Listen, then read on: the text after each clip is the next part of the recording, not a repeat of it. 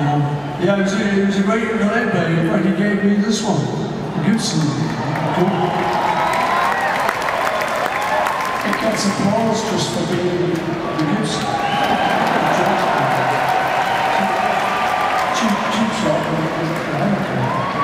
Anyway, no, seriously, I was around at George's house and we were sitting around playing ukuleles and uh, we were just jamming.